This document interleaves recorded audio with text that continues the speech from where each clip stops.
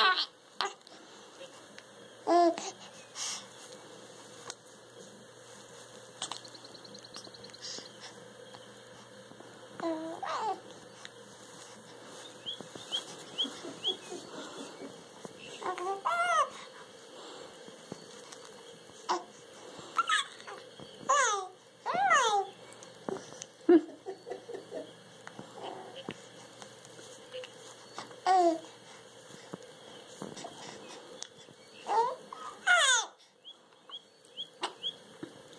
Are you talking to those birds, Evelyn?